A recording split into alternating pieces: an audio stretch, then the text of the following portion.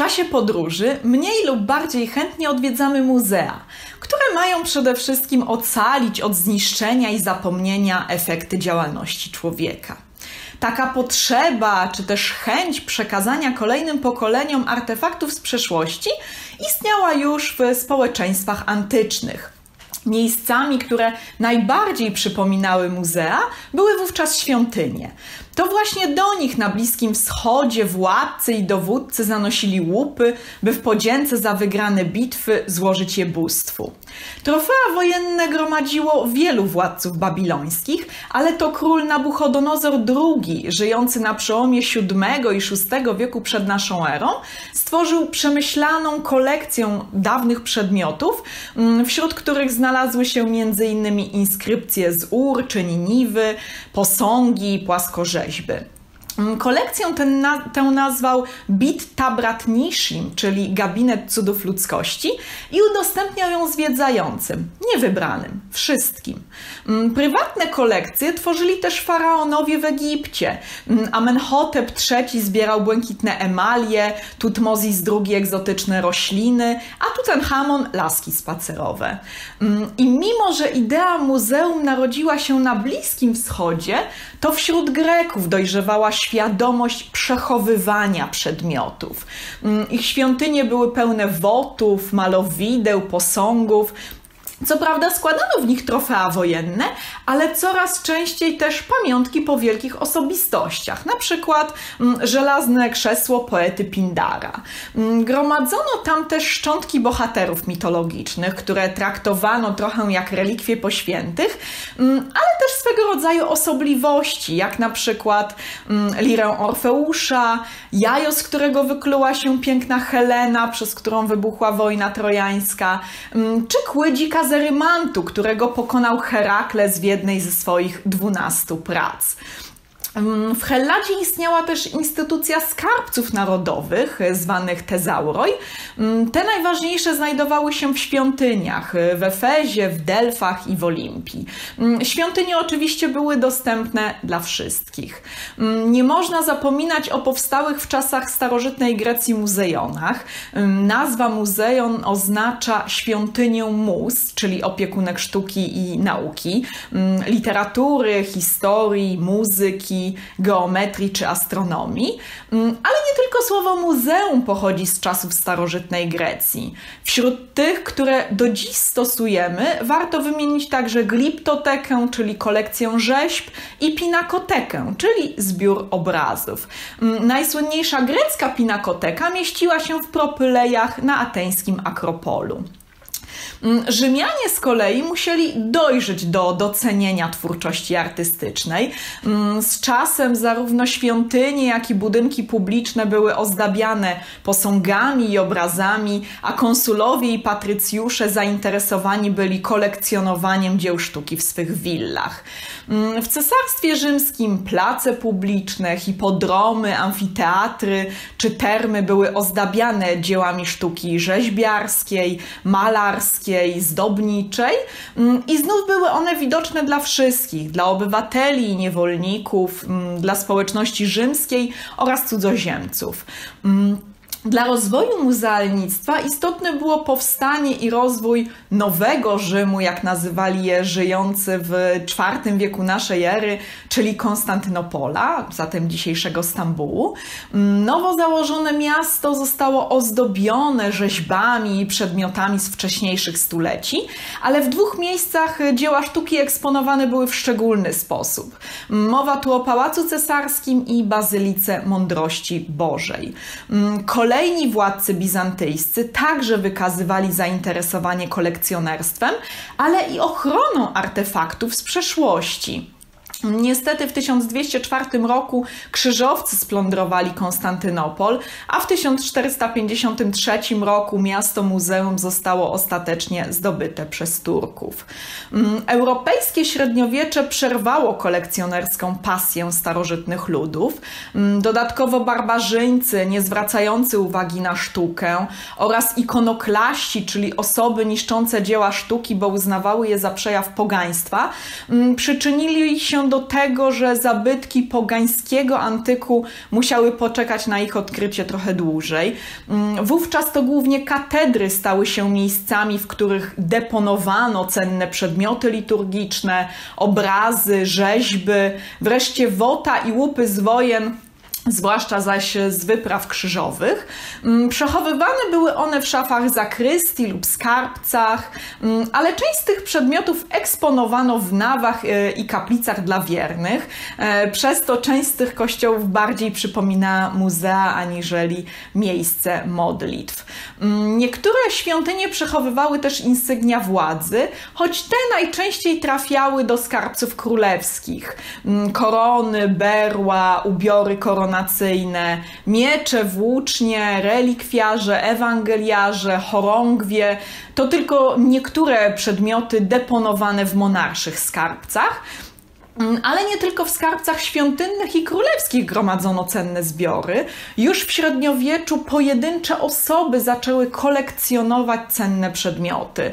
Mm, robił to chociażby Marco Polo, ale też syn króla Francji, książę Jean de Berry, e, który zbierał iluminowane rękopisy, złote i srebrne monety, kamei, gemmy, wazy, rzeźby, obrazy oraz różne osobliwości, w czym zresztą był prekursorem. Mm, odrodzenie antyku musiało się odbyć na terenie Włoch i tak też się stało w przypadku muzeów. Mm, odkrywanie starożytnych pozostałości rozpoczęło się w XV wieku, a przodował w nim ród Medyceuszy. Mm, dzięki nim Florencja, jak niegdyś Konstantynopol, stała się miastem muzeum. Przedstawiciele rodu kolekcjonowali dzieła sztuki i eksponowali je w swoich pałacach i willach, zwłaszcza nowa rezydencja Palazzo Palazzo Vecchio idealnie się do tego nadawała. Mm, zaprojektowano też budynek urzędników, czyli Uffizi, e, w którym mieli rezydować ministrowie medyceuszów. Mm, w 1581 roku artysta dworu Bernardo Buontalenti zaproponował przekształcenie górnego piętra Uffizi mm, w Muzeum Medycejskie. Tak właśnie powstała znana dziś Galeria Uffizi, e, do której przeniesiono 300 portretów sławnych postaci oraz okazy z gabinetu przyrodniczego, e, minerały, kryształy, muszle czy kość słoniową, mm, ale też nowo pozyskane przedmioty, zwłaszcza rzeźby antyczne. Mm, z czasem czasem zbiory rodzinne zostały połączone, a w pierwszej połowie XVIII wieku Ród zapisał Florencji zbiory pod dwoma warunkami, że nigdy nie opuszczą one miasta oraz że będą dostępne dla zwiedzających z całego świata. Mm, na Toskanię z zazdrością patrzyli papieże, chcąc dorównać Medyceuszom i z Rzymu także stworzyć miasto muzeum. E, Paweł II wzniósł w Rzymie Palazzo Wenecja, w którym umieścił Muzeum Sztuki Antycznej i Bizantyjskiej. Mm, z kolei Sykstus IV ufundował przy Bazylice Świętego Piotra kaplicę, którą dziś od jego imienia nazywamy Sykstyńską. Mm, nade wszystko zaś w 1471 roku ofiarował miastu zbiór rzeźb antycznych, które z Pałacu Laterańskiego zostały przeniesione na Kapitol, gdzie powstało muzeum, w którym dziś możemy podziwiać m.in. Wilczycę Kapitolińską. Mm, kolejni papieże również wsławili się dbaniem o dzieła sztuki. E, przebudowano Bazylikę Świętego Piotra, Utworzono ogród rzeźb, który stał się podwaliną późniejszych muzeów watykańskich, e, choć zostały one udostępnione szerszej publiczności dopiero pod koniec XVIII wieku. Mm, ale oczywiście nie tylko Italia była pochłonięta kolekcjonowaniem cennych zbiorów. Mm, zgodnie z zasadą niech inni prowadzą wojny, ty szczęśliwa Austro zawieraj związki małżeńskie, mm, Habsburgowie prowadzili zręczną politykę małżeńską, dzięki czemu władali wieloma państwami europejskimi. Mm, wielu przedstawicieli rodu przywiązywało dużą wagę do skarbców, zbrojowni oraz gabinetów osobliwości. Mm, w Hiszpanii gromadzili nie tylko antyczne zbiory rzymskie, lecz także te muzułmańskie. Mm, zbrojownia Karola V była zaczątkiem Real Armerii w Madrycie. Filip II wzniósł Escorial, gdzie zgromadził galerię obrazów i tapiserii. Z kolei Rudolf II ustanowił Pragę swoim skarbcem. Mm, z kolei francuskie zbiory rozrastały się zwłaszcza dzięki kardynałom Richelieu i Mazarin, mm, których kolekcję wykupił Ludwik XIV, a które potem stały się zaczątkiem Królewskiego Muzeum, czyli Louvru.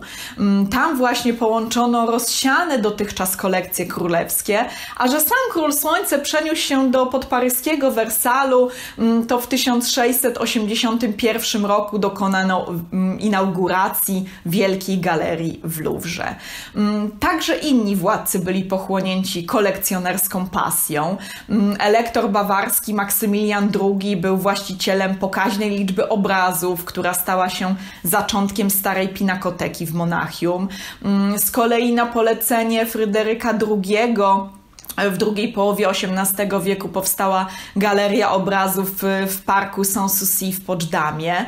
Mm, także Rosja nadrabiała zaległości. Caryca Katarzyna II także w drugiej połowie XVIII wieku nakazała budowę małego i wielkiego ermitażu, mm, gdzie później trafiły zbiory wywiezione z upadającej wówczas Rzeczypospolitej.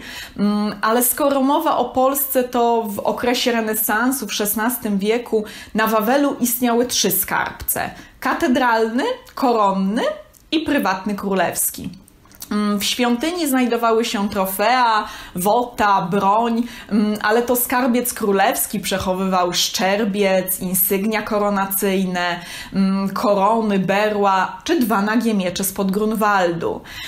Z czasem także władcy zaczęli tworzyć własne kolekcje. Stanisław August Poniatowski prezentował swoją w łazienkach. Nie można jednak zapominać o tym, że w czasach nowożytnych pokaźne też były kolekcje kolekcje rodów magnackich, Radziwiłłów, Osolińskich czy Lubomirskich. Mm, jednak mimo to, mimo dużej liczby istniejących zbiorów w Europie, mm, do połowy XVIII wieku kolekcje były dostępne dla wąskiej publiczności. W dobie oświecenia postulowano konieczność wzrostu poziomu edukacji mm, i doszło też do używając dzisiejszych słów komercjalizacji kultury. Mm, pierwszym muzeum państwowym było powstałe w 1759 roku w Londynie Muzeum Brytyjskie, którego zaczątki też pochodziły z prywatnej kolekcji, e, tym razem Hansa Sloana. Mm, mimo, że Muzeum Brytyjskie miało służyć wszystkim, początkowo było, było dostępne tylko dla uczonych. E, przeciętny obywatel musiał czekać dwa tygodnie na uzyskanie zgody na wejście do muzeum. Mm, wszystko jednak zrewolucjonizowały wydarzenia we Francji pod koniec XVIII wieku. Mm, w zgodzie z postulowanymi hasłami wolność, równość, braterstwo, w 1791 roku Louvre przekształcono w muzeum otwarte dla wszystkich. Otwarcie Muzeum Brytyjskiego i Louvru, otwarcie ich na społeczeństwo było właściwie krokiem milowym w rozwoju muzeów, które stawały się instytucjami narodowymi. Od początku XIX wieku nastąpił boom na otwieranie placówek muzealnych. Mm, w 1800 roku powstał zaczątek przyszłego, bo powstałego w 1808 roku Rijksmuzeum w Amsterdamie. Mm, w 1819 roku otwarto madryckie Prado. Mm, pięć lat później londyńskie National Gallery. Mm, w 1830 roku powstały berlińskie Altes Muzeum i monachijska Gliptoteka. Mm, w 1852 roku w Londynie powstało muzeum, które z czasem przemianowano na Victoria and Albert Museum. A w 1897 roku otwarto e, Tate Gallery. Mm, na ziemiach polskich w XIX wieku, z powodu braku instytucji państwowych oczywiście, to arystokracja przejęła obowiązek ocalenia pamięci o przeszłości państwa. Mm, kolekcje sztuki były prezentowane w rezydencjach mm, potockich, działyńskich, zamojskich, e, lubomirskich, raczyńskich, krasińskich, ale nade wszystko czartoryskich. Mm, to właśnie przedstawicielka ostatniego rodu, Izabela Czartoryska, w 1801 roku otworzyła w Puławach świątynię Sybilli, mm, w której były prezentowane eksponaty dotyczące dziejów Polski, pamiątki po królach, trofea wojenne oraz niektóre obiekty ze skarbca koronnego na Wawelu. Nad wejściem widniał e, świetny napis przeszłość przyszłości. Mm, w 1809 roku Czartoryska otworzyła z kolei dom gotycki, który miał prezentować historię i kulturę świata, ale tematycznie był powiązany z historią Polski. Mm, drugą osobą, która wniosła wielki wkład w rozwój polskiego muzealnictwa, mm, był Stanisław Kostka-Potocki, który swoją kolekcję sztuki udostępnił w 1805 roku publiczności e, i tak powstało Muzeum w Wilanowie. Mm, koniecznie trzeba też wspomnieć o Muzeum Książąt, e, Książąt Lubomirskich, założonym w 1823 roku w Lwowie, które weszło w skład Zakładu Narodowego imienia e, Osolijskich. Mm, ale także XIX-wieczni emigranci mm, przyczynili się do kultywowania historii Polski. Trzeba wspomnieć o istniejącej od 1838 roku Bibliotece Polskiej w Paryżu, e, o prywatnym Muzeum Karola Skorońskiego w Wiedniu, mm, czy Muzeum Mikołaja Kopernika w Rzymie. Mm, w drugiej połowie XIX wieku na ziemiach polskich powstawały głównie muzea sztuki, choć oczywiście nie tylko. Mm, ufundowano wówczas Muzeum Sztuk Pięknych w Warszawie, czyli późniejsze Muzeum Narodowe, mm, Towarzystwo Zachęty Sztuk Pięknych, Muzeum Czartoryskich w Krakowie, czy Muzeum Starożytności Polskich i Słowiańskich w Wielkim Księstwie Poznańskim, które weszło w skład obecnego Muzeum Narodowego w Poznaniu. W drugiej połowie XIX stulecia moda na otwieranie muzeów kwitła także poza Europą. Mm, niektóre z nich zaczęły się specjalizować. Powstało na przykład Muzeum Nauki, mm, powstałe w Pałacu Kryształowym w Londynie, w którym wcześniej odbyła się wielka wystawa światowa. Mm, Muzea Techniki, Rzemiosła Artystycznego, muzea etnograficzne, otwierane głównie dzięki kolonializmowi, otwierano właściwie na całym świecie. Mm, w XIX wieku zaczęły także powstawać, e, a rozwinęły się na dobre w XX stuleciu, muzea regionalne. Mm, zarówno muzea, które powstały kilkaset lat temu, jak i te otwierane niedawno, mm, warto odwiedzać, tak jak robili to przez stulecia nasi przodkowie, którzy dla przyszłych pokoleń, czyli też dla nas, e, tworzyli, przechowywali, aż wreszcie udostępniali swoje kolekcje, mm, bo muzeum to właściwie najlepsze miejsce do odbycia podróży w czasie.